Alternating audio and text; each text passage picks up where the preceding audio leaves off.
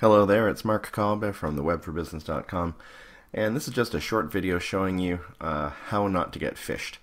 So uh, a customer of mine sent this to me, they were uh, clearing out some old email and they found this and they were wondering if it was legit and um, here's how you can tell in about two seconds. Move your mouse over the link. See right there? https appleid.apple.com. That is a legitimate website that uh, that is there for Apple IDs. Look where it's going.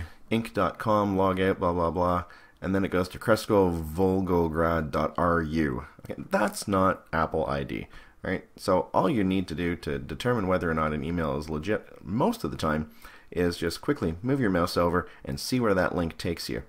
Now, in this case, the link is showing up here but uh, sometimes it might show up in a different part of your browser. Um, play around with that, look for it, you'll see it show up in different places depending on what email software you're using. But look for the link, see where it takes you. If it's not taking you where it should, you're being phished. Alright, enjoy your day. Have a great one.